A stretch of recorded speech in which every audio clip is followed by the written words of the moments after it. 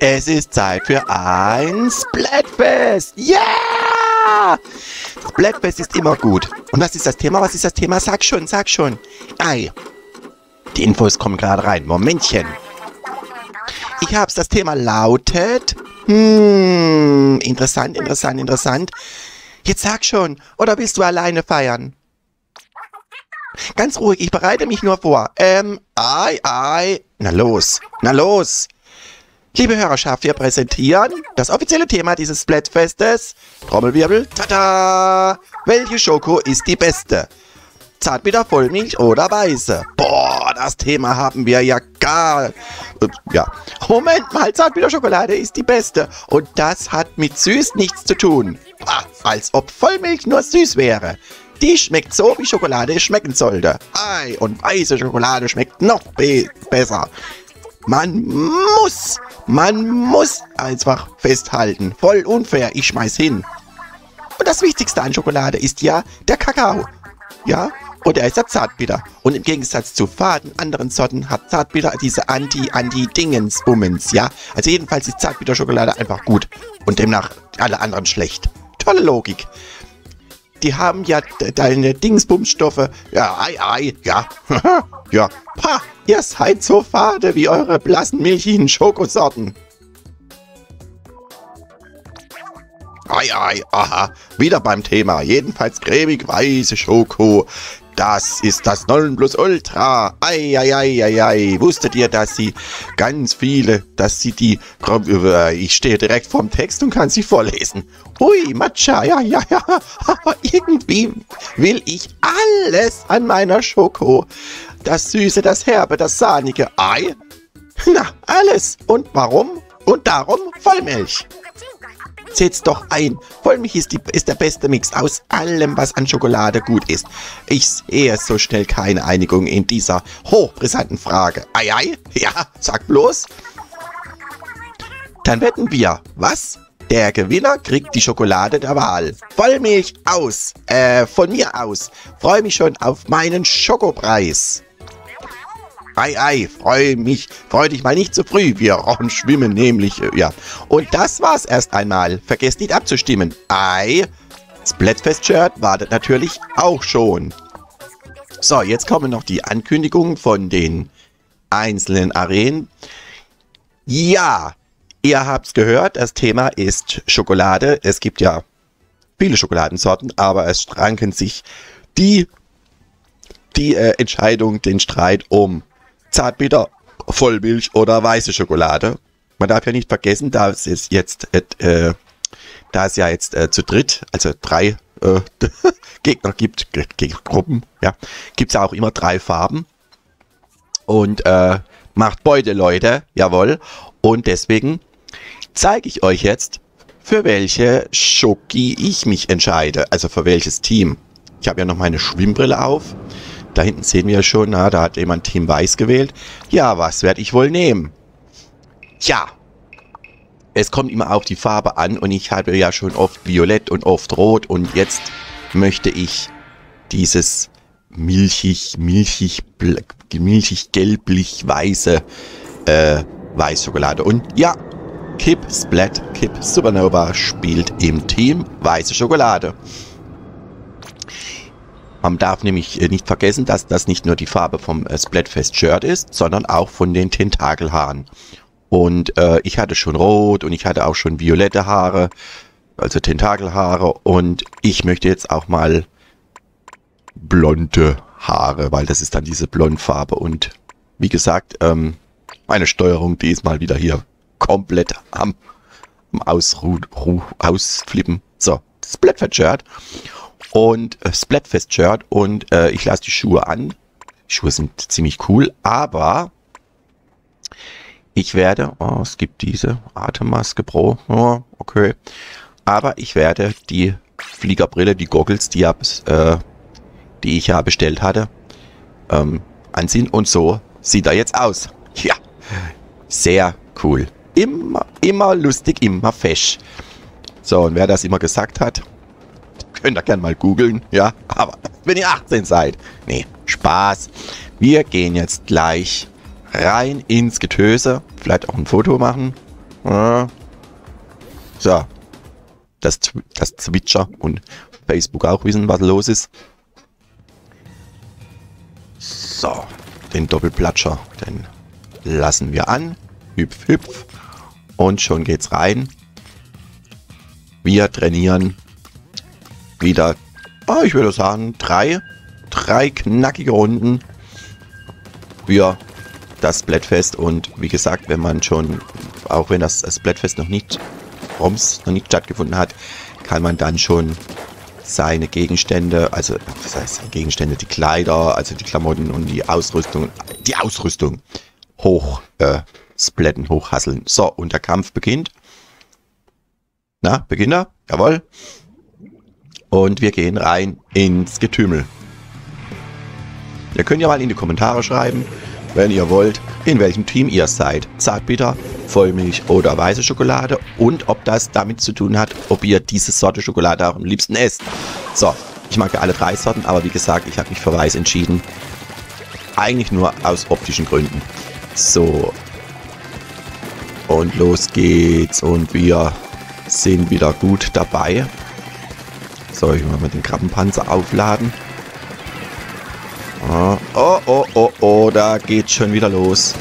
Na, und weggesplattert, kurz bevor ich die Ulti auch hatte. Ja, toll. Die Sniper eben. Peachy Fox. Ähm, gut, obwohl, wenn ich mir es genau überlege, die, äh, die Schokola äh, Schokoladensorte, die ich jetzt in Real, also am liebsten esse, ist, glaube ich, Vollmilch. Ähm, Zartbitter nur in Kombination mit was anderem, zum Beispiel äh, die, ähm, oh, sag mal's, äh, Pfefferminz oder Marzipan. Äh, in, äh, das äh, gehört, äh, da gehört die, äh, die Zartbitterschokolade als Hülle drumherum, zum Beispiel für Rittersport. Sehr, sehr lecker. Oh, habe ich, hab ich auch noch einen Kühlschrank, muss ich mal gucken. Und, ähm, Vollmilch geht ja sowieso eigentlich immer. Äh, und weiße Schokolade liebe ich natürlich auch sehr. Na, wo ist der Krabbenpanzer? Da ist er. Und, äh, ah, nein! Was hat denn der für einen Namen? Dung Eater. Ey, ist das ja krank. Wirklich. Ähm, äh, ja. Wie gesagt, ihr könnt gerne in die Kommentare schreiben, in welchem Team, welches Team wählt ihr. Äh, und welches ist eure... Das schafft nur ich in die Klecksbombe rein. Und wieder Peachy Fox. 2 zu 0 für Peachy Fox. Ähm, apropos Peachy, es gibt ja auch noch andere Streitthemen, wo man äh, drum streiten kann. Streitung, äh, Lebensmittelarten, wo man drum streiten kann. Die alte äh, Eistee-Frage, Zitrone oder, oder Pfirsich. Ähm, tja, wird wohl im Splatfest auch nicht äh, als Thema kommen, weil da gibt es, oh, gut, man könnte eine dritte. Was sind das, zwei Sniper? Ach du Schande, wie soll man denn da? Ja, ich wollte die Bombe da hochwerfen, toll. Super. Ähm, Ah, wobei, man könnte Team, äh, man könnte Team Pfirsich, Zitrone und vielleicht dann noch Kirsche oder, oder sowas. Oder einfach Mineralwasser, ja. Oder einfach nur Wasser. Das, also Team Unge, ja. ja. Spaß, ja. Und, äh, oder, oder es gibt ja auch die äh, äh, Streitfrage Pizza oder Burger. Da könnte man dann auch Pizza, Burger und äh, Pasta dann auch drei Teams. Gut, mit welcher Farbe die dann rumklecksen, das wäre dann, also was für eine Farbe hat Pizza? Na egal. Jedenfalls, ich glaube, die erste Runde war ein Reinfall.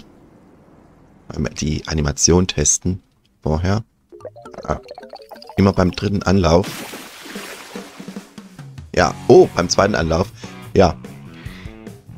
Aber ein verdienter Sieg und ich habe es glaube ich schon mal gesagt, aber diese Pose jetzt von ähm, Peachy Fox, da direkt über mal diese Pose, die gefällt mir ganz gut. Die hätte ich gern für Kip. Aber ich glaube, die Posen, die kann man auch im den Emotes Anpassungsmodus ändern. Also die kann man da ändern. Ja, die kann man da ändern, aber ähm, haben immer was mit der Waffe zu tun, wo man wählt, glaube ich. So, und wir setzen fort. Runde 2. Oh, wir waren gar nicht so schlecht, aber trotzdem verloren. Oh, und jetzt ist Peachy Fox in unserem Team. Ah, jawohl. Ah nee, oder sind das jetzt nur die... Ah nein, das sind nur die Teammitglieder, also das sind nur die Spieler, wo warten und dann eingeteilt werden. Das ist, das sieht man noch gar nicht, äh, wer in welchem Team ist. Ich präsentiere ja immer gerne den Krabbenpanzer, werde aber mit Leidenschaft davon runtergeschossen. Naja, egal. Äh, nee, PG Fox ist wieder im Gegnerteam.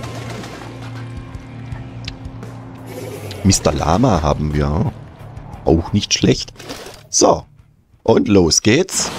Runde 2.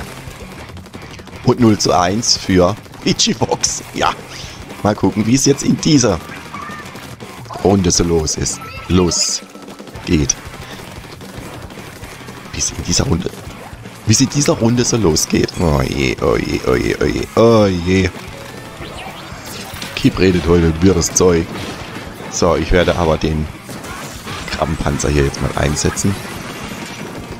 Ja, der kann schon recht weit schießen, aber ich habe den Sniper hier einfach nicht getroffen. Es sind wieder zwei Sniper mindestens unterwegs. Oh, bis jetzt, oh, sieht gut aus. Jetzt heißt es Vorspringen, keine, keine Zeit verschwenden. Ah, eine Booyah-Bomb ist auch Oh, und der Gegner hat auch. Zack, bloß. Wen habe ich jetzt da erledigt? Der. Danke. Der, der Urheber der Booyah-Bomb, oder wen habe ich jetzt da erledigt? Voll erwischt. Voll erwischt heißt übrigens, wenn das ganze Team weggesplattet wird. Ähm, für alle, die es noch nicht mitbekommen haben, oder für die Anfänger. Was ich mir überlegt habe, das wäre auch ein, ein, ein lustiges Videothema. Das wäre so ein, ein Splatoon-Tutorial zu machen, aber wirklich so ganz einfach. So aller Sendung mit der Maus oder vielleicht sogar aller Sesamstraße. Das wäre vielleicht mal was. Fände ich eine lustige Idee, weil ähm, es gibt so viele Möglichkeiten, dieses Spiel unterhaltsam. Danke. Wieder von der Booyah-Bomb. Ich springe halt auch mitten rein. Ne? Ähm, äh, dieses Spiel so, so äh, unterhaltsam umzusetzen und, und zu präsentieren, das glaubt man ja gar nicht. Ähm, da habe ich schon alles Mögliche gesehen von, von den peinlichsten Pannen bei Splatoon und dann die peinlichsten Hacks. Äh, die peinlichsten Hacks, die interessantesten Hacks und ähm, was man aus dem Spiel als rausholen kann. Das gibt ja echt endlos viele schöne, schöne Möglichkeiten. Ja, ich lieb's einfach. Ich lieb's einfach, das Spiel. So. Die letzte Minute läuft. Now or Never.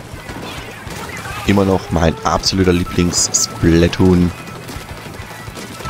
kann man das Lied nennen oder Song nennen? Musik jedenfalls. Oh, sieht gut aus, sieht gut aus. Jetzt, jetzt, jetzt dranbleiben. Die letzten 30 Sekunden jetzt dranbleiben. Also der Gegner, also der Gegner schenkt uns nichts. Der Gegner schenkt uns nichts. Also ich hatte schon Spiele, wo dann gut gelaufen sind, weil schon jemand. Na, krieg ich den, krieg ich den, krieg ich den, krieg ich den. Ah! Ja, Pidgey Fox! Ja! Oh! Ähm, aber ich glaube, das wird auch wieder... Es wird kein richtiger Reinfall, weil... Ja. ähm, ich würde sagen fast 50-50. Ja.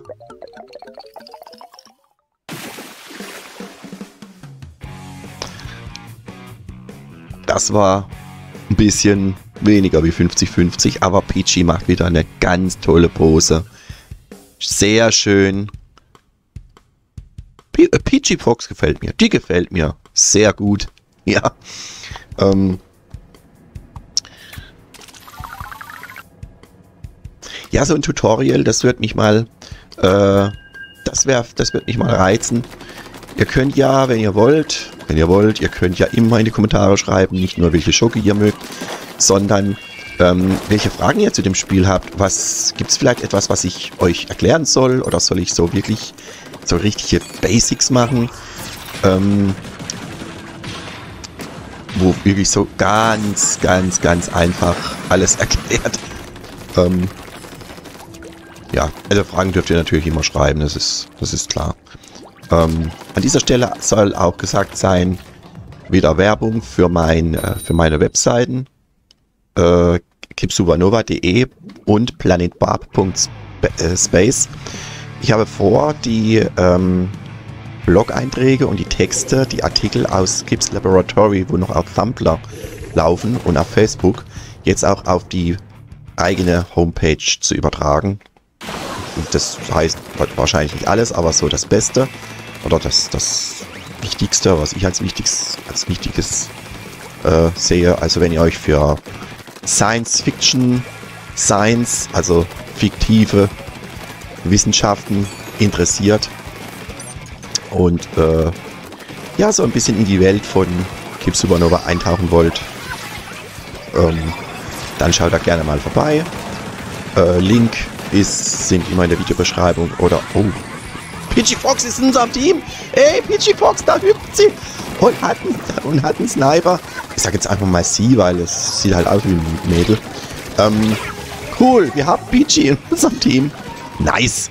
Ähm, ja, Link in der Videobeschreibung oder auch jetzt hier im Video immer wieder mal eingeblendet.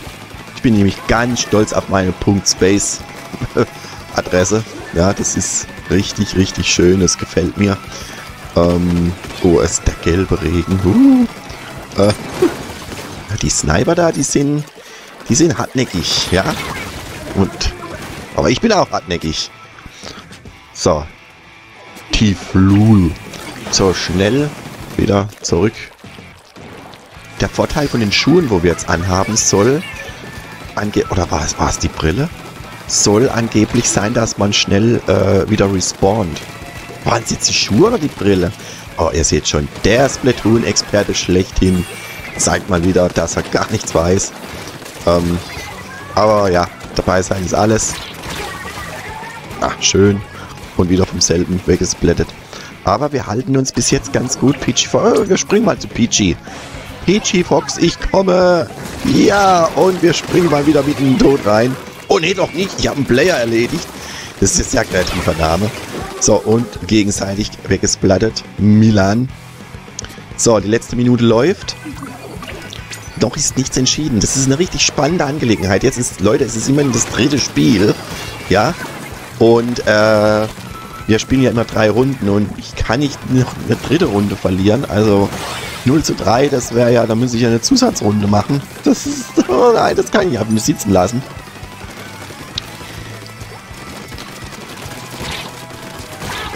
Ja, Milan ist wieder ganz schnell weggesprungen, war ganz flink, hab das gesehen, aber diesmal hat er mich nicht bekommen. So, zum letzten Mal nochmal ein Krabbenpanzer. Und wirklich volles Rohr volles Rohr. Das war eine kurze Unterbrechung. Sorry. So, 8, 7, 6, 5, 4, 3, 2, 1 und Sense. Und das war's. Jetzt. Ich glaube, es ist wieder ganz knapp. Es ist ganz, ganz knapp. Oh nein, es ist sogar äh, sehr eindeutig. Mit 59 Prozent, 59,2 Prozent. Yes! Jawoll. Und ich stehe sogar neben Peachy Fox. Ey, cool. Kip und Peachy Fox. Sehr schön. Das kommt natürlich auf das Thumbnail und auf Zwitscher. Sehr gut. Und wir haben auch noch ein Level, aber äh, einen Stufenaufstieg. Und wir haben unser Splatfest-Shirt hochgehasselt. Was will man mehr? Ähm, ja, 1 zu 2. Und wir haben ein neues Abzeichen erhalten. Das können wir gleich.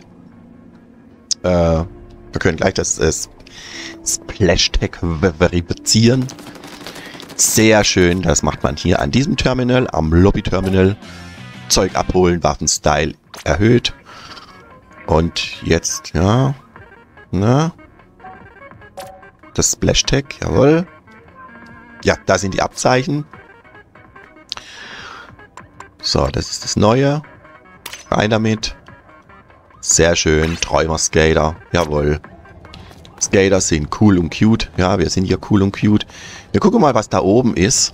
Da dürfen wir die Waffe leider nicht mitnehmen. Aha. Ein sehr schöner Spruch steht da übrigens. Zitat von Brzykrwicz. Ja, den merkt ihr euch mal. Macht ein bisschen Screenshot davon. So, bitte einkaufen. Guckt mal, wie groß diese Tassen sind. Habt ihr das gesehen? So, hier kann man auch natürlich äh, die Splatoon äh, äh, Matches angucken. Wir können da runterspringen. Wir können übrigens von hohen Höhen runterspringen. Das tut, macht uns nichts aus, weil wir wissen ja, aus Splatoon 1, Inklinge haben keine Knochen. Und Oktolinge auch nicht. So. Leute, das war's. Drei knackige Runden, zwei verloren, eine gewonnen. PG Fox kennengelernt. Es hat mich gefreut. Wir sehen uns. Äh, danke fürs Einschalten. Auf die, auf die Webseiten gucken, ja, abonnieren, Glocke. Und wir sehen uns. Bleibt neugierig, bleibt spritzig und keep supernova over and out.